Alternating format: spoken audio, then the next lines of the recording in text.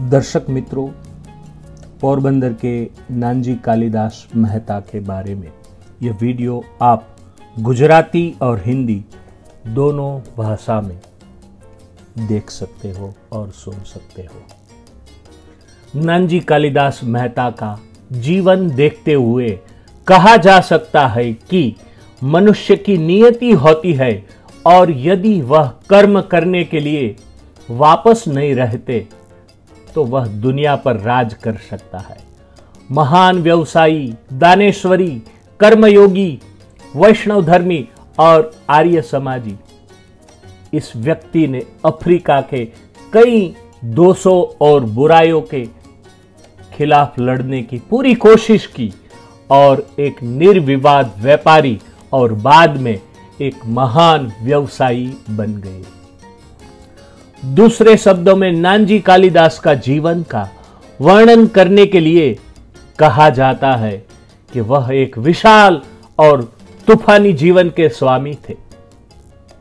उन्होंने दो महाद्वीपों में व्यापार और उद्योग जगत में चार चाँद लगा दिए।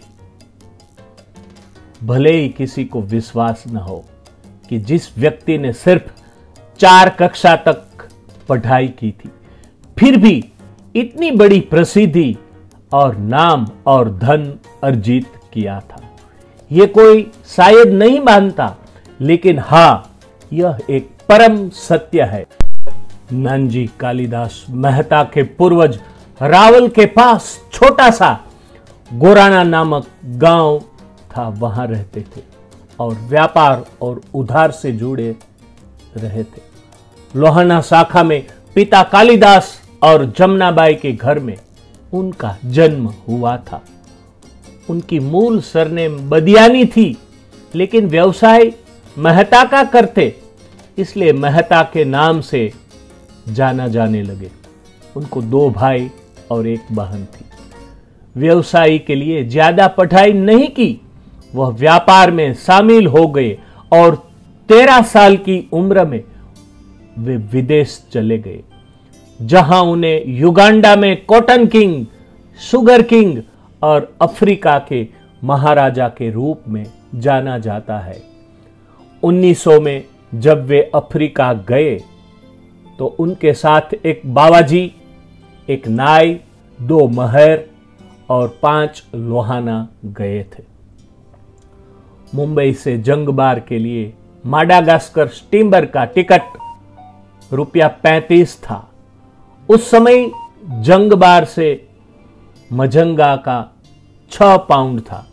लेकिन जब उन्हें फुल भाभी नामक एक सस्ता घरेलू जहाज़ मिला तो उन्होंने दस रुपये में वहाँ पहुँच गए और छब्बीसवें दिन उसने ज़मीन देखी।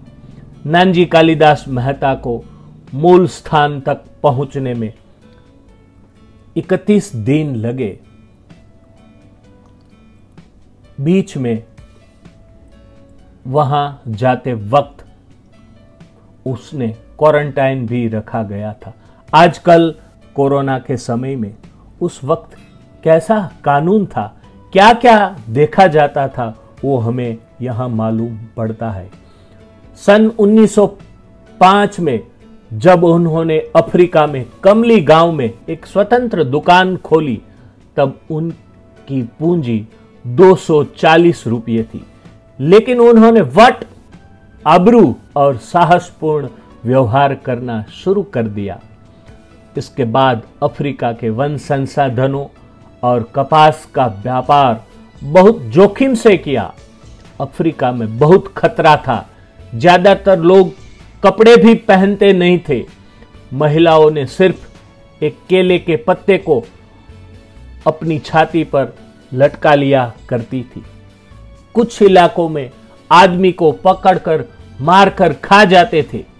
हिंदी आदमी का मांस उसको अच्छा लगता था। उस वक्त कुछ लोग पकड़े गए। उसने सत्रह आदमी को खा गए थे, ऐसी कबूलत दी थी।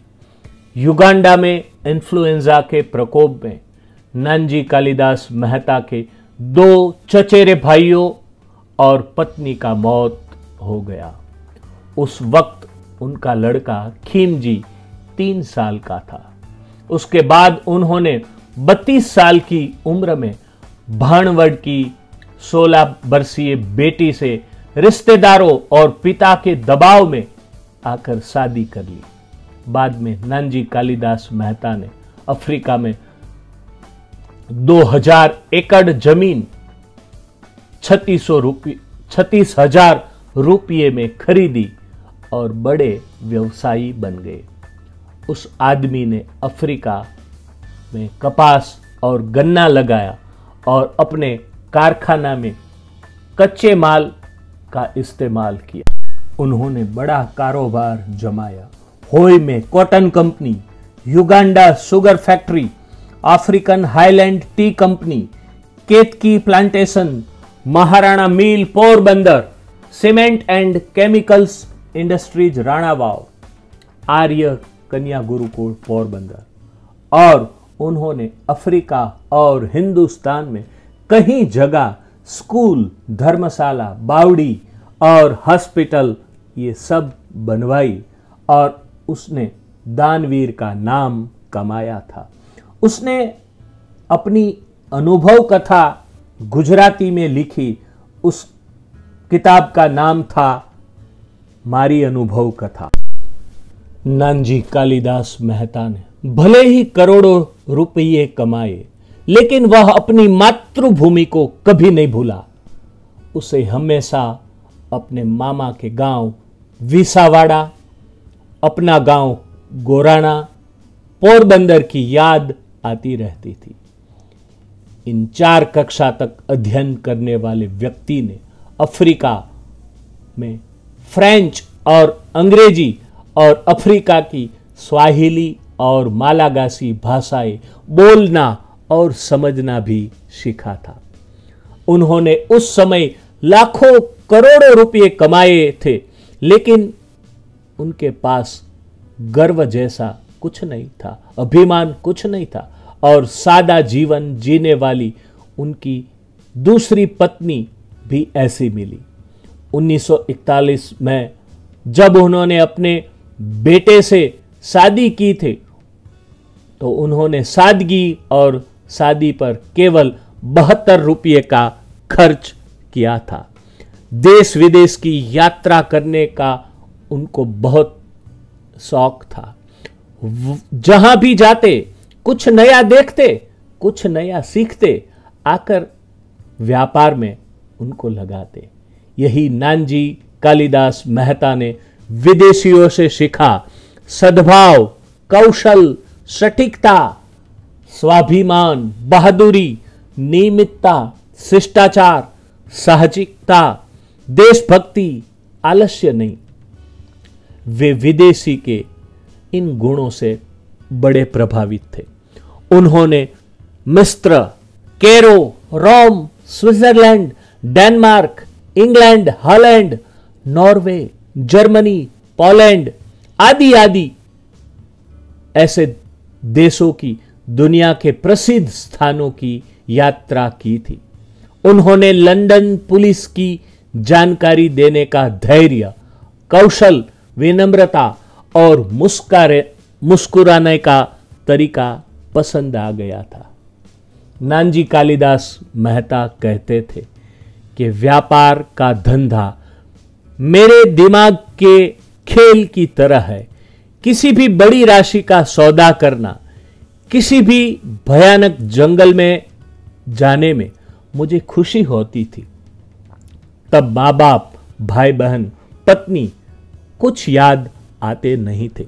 जब लॉर्ड हॉफ मेयर भारत आए तो महाराणा नटवर सिंह जी ने उन्हें पोरबंदर में गांधी जी का जन्म स्थल दिखाया। तो वे बहुत खुश और दुखी हुए। लॉर्ड हॉफ मेयर ने कहा कि आप इस महान व्यक्ति की महानता को महत्व नहीं देते? अगर कोई परदेसी होता तो करोड़ों रुपए खर्च कर देते। उसने आपके देश के लिए क्या किया है? क्या दिया है और आप क्या पेश कर रहे हैं? उसकी आपको कीमत नहीं। यह जगह एक सुंदर, चिरंजीव स्मारक होना चाहिए। इन शब्दों ने नानजी कालिदास मेहता को छू लिया और बाद में पोरबंदर में कीर्ति मंदिर बनाया गया।